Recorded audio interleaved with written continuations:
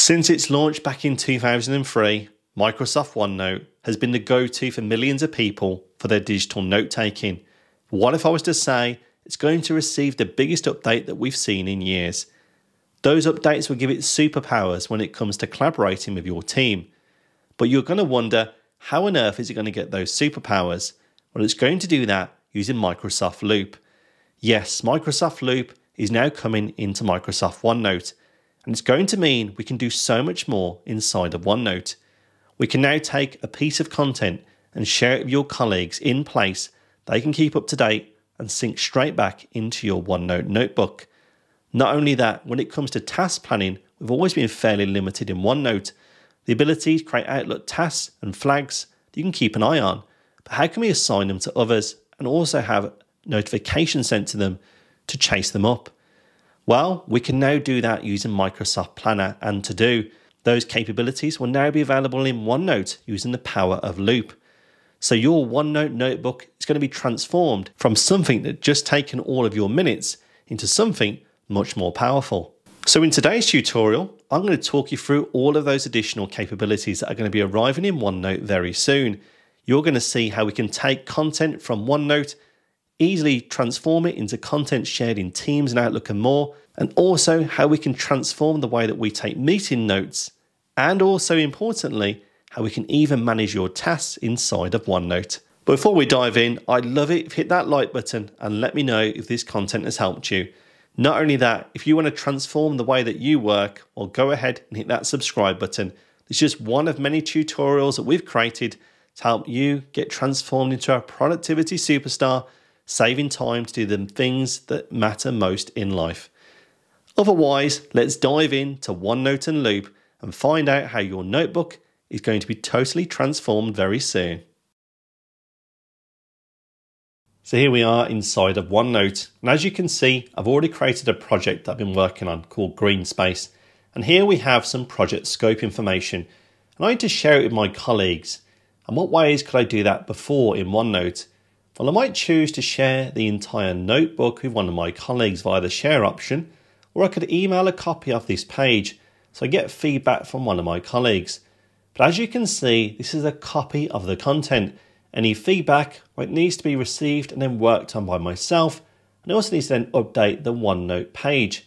And that can take a lot of time out of your day. So how could we make this process easier? Well, using the new loop capabilities, we can create a piece of content that we can share with others in place and keep synchronized as you or your colleague make changes. And to do this in OneNote, it's really easy. Here I am at the bottom of my OneNote page, and under the Insert ribbon, we can see a new option for loop components. Have the ability to insert a dynamic loop component inside of Microsoft OneNote. I'm going to go ahead and select paragraph here it's going to create me a new paragraph component inside of Loop. I'm going to add a title and also add in some content in relation to some information on our project. With that now done, well, we can take that content and share it elsewhere. There's no need to email the page. Here, I'll select on copy component, and we can also go into Microsoft Teams. We have a dedicated team set up for this project, and I want to go and get feedback from my colleagues in the team. Let's go down and start a post in the Teams channel and all I need to do is paste in the loop component and then click on post to share it with my colleagues. You can now see the component is live inside of Teams. And the benefit of using loop, well, we can go in and make live changes to the content. I'm going to go ahead and delete this line here and then click away, which is the same that you or your colleagues could do in your own loop components. But if we now return back into OneNote, instead of that email copy needing to be updated, you can see it's now updated straight in place. But you're probably wondering, well, does it do the same in Outlook? And absolutely does. Inside of Loop, we can create a new mail message and again paste in our component. So you can take a single piece of content from OneNote and share it in Outlook and Teams with your colleagues, make changes and sync them all straight back into OneNote. But I know what you're thinking. That's great for new content, but what happens if you've already created content in apps like Microsoft Loop? Can we bring that then into your OneNote? You absolutely can. Here is a loop page I've created with some content on one of our projects. It includes all of the potential project locations. So let's go ahead and highlight the content here. And I'm going to go ahead and create a new loop component of this content and go ahead and copy the component. And much like we did inside of Teams and Outlook, well, I can go into OneNote and I can then also add a page or add it to an existing page and I could then copy and paste that component in place. Now, as we can see, OneNote will then treat the content just as we did when we created that loop component, allowing you then to make changes. For example, let's remove the words bullet list of and update that content. You can now see it's updated in place. And if we go back into the Loop app, well, the same changes applied. So you can take existing Loop content across all those different apps and bring it straight into OneNote and paste it and also keep it up to date. So let's just take a short pause. I just wanted to let you know that if you're enjoying today's tutorial and want to find out more about what Microsoft 365 can do for you, why not go and download our free Microsoft 365 ebook in the link below and also in the video description.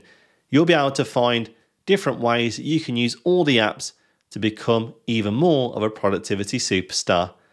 Otherwise, let's dive back into Microsoft OneNote and Loop and continue to see how these superpowers will change the way that you use OneNote moving forward. Now, I know one thing we all use OneNote for that's taking meeting minutes. And could that be easier when we use in Loop? And it absolutely can. Now, as you may know from other videos on our channel, what you can do inside of Microsoft Teams is we can go ahead and schedule a new meeting and have the ability to use Loop meeting notes by adding an agenda that others can edit. And inside of your meeting, you can add an agenda, meeting notes, and also begin to allocate tasks to people inside of that meeting. But what does that then mean? Well, it means that once your meeting is finished, you can also insert all of those meeting notes straight into OneNote using the power of Loop. Let's go and check that out. All we need to do is go back into OneNote and then click on the meeting details button at the top. We'll then see on the right hand side all of the meetings I've been part of, and one of these catch ups on Greenspace included the ability to use my Loop Collaborative Notes experience. So we can actually see inside of here who joined the meeting and so forth, an option for Loop Collaborative Notes. And by expanding that, we now see all of the meeting notes, the agenda and follow up tasks.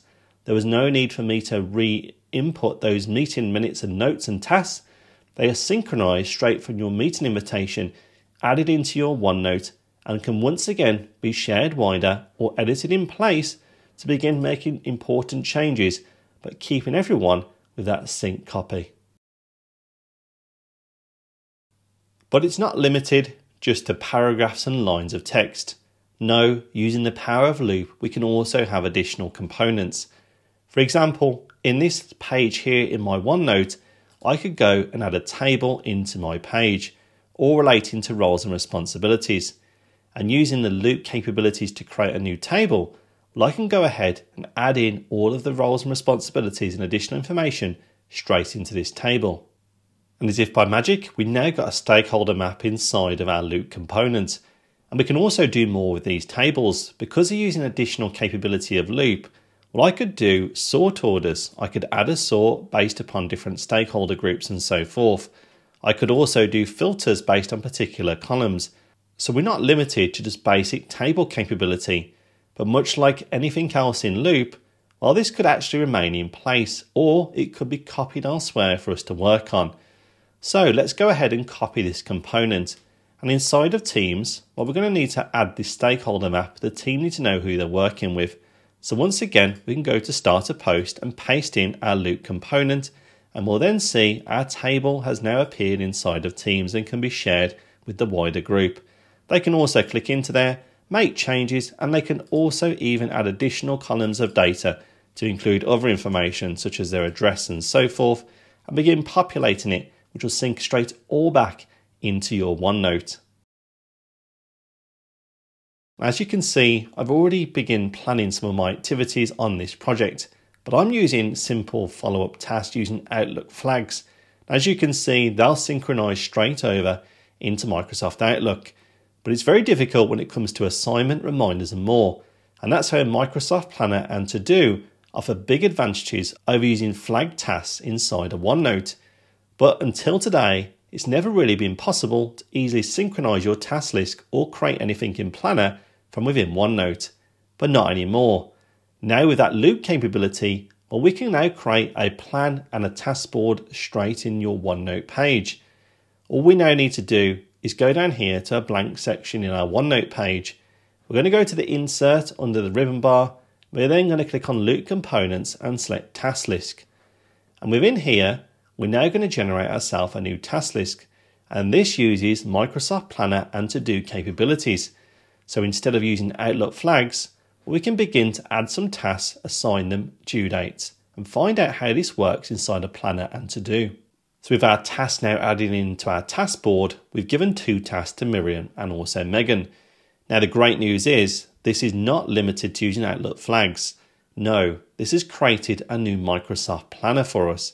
We can see that by clicking under the drop down for Task Apps and then selecting Open in Planner. And inside a planner, while here are our tasks, you can see it's been synchronized directly from our Loop task board straight into Microsoft Planner, which will also then appear in Microsoft To Do. And the great news is, well, you can begin adding buckets and more tasks here, and they'll also synchronize back. Let's go and add a new bucket in here and also a new task. With that now done, let's head back into OneNote and see if that's synchronized back into our original plan in OneNote. And as if by magic, there it is, there's our new task. But not only that, the bucket inside the planner has also been synchronized across. We now have a new bucket for financials. And with those changes, well, I can also update some of the other tasks. Here, I'll update the arranged purchase order into our financial bucket, which will move it directly in Microsoft Planner, ensuring that it's in the right bucket. And as I mentioned earlier, well, all of these apply Microsoft to do as well and also through the planner experience in Teams and on the web. So you can now begin task planning using Planner and To Do directly from OneNote using the power of Microsoft Loop. As you may have noticed, under the Insert option in Loop Components, well, it's fairly limited, and you may be aware that Loop offers Q&A capability, and I don't see that here on the list. So does OneNote support those additional capabilities? Well, you can apply them, and here's how. What I could do is add a paragraph component into OneNote. Now in here, I could then use the forward slash key to open the action menu inside of Loop. And as we scroll down this list here, you'll see we're no longer limited to just the options I saw in OneNote. No, I can scroll down and I can find the Q&A session. If I left click into that, I can begin populating my Q&A and still having it appear inside of Microsoft OneNote. And we can even do that for additional capabilities, such as code blocks as well. So as you can see, there are many other options outside of the insert menu. Just by clicking on the forward slash icon inside of one of your Loop components brings up all of the options that you can begin working with and bring them into OneNote. And there you have it. We've now checked out those new changes coming into Microsoft OneNote. They're going to change the way that you and your team collaborate when it comes to using OneNote and Loop in combination. Now, there are potentially some questions you may have. That may be when you're looking at OneNote, you can't see this button yet. That's because these changes are rolling out. Yes, it's available in the Insider Builder Office today, but you can also take advantage when it rolls out in the early part of 2024 and use the same great capabilities that you've seen today. There are also some limitations. Of course, Microsoft Loop requires a stable internet connection. It's also today only available in OneNote for Windows, and also the sharing links that get created from your Loop components are organizational wide. Now, I'll put more information in the video description to find out, and potentially, of course, we'll see those areas change as these changes roll out in the future.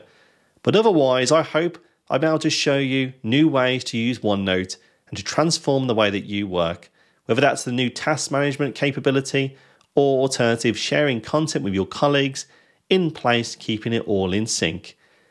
Whatever you've seen today, if it's helped, I'd love it. Hit that like button. But not only that, follow us and subscribe to this channel to find more great content like this to turn you into a productivity superstar. Otherwise, I look forward to seeing you on the next one.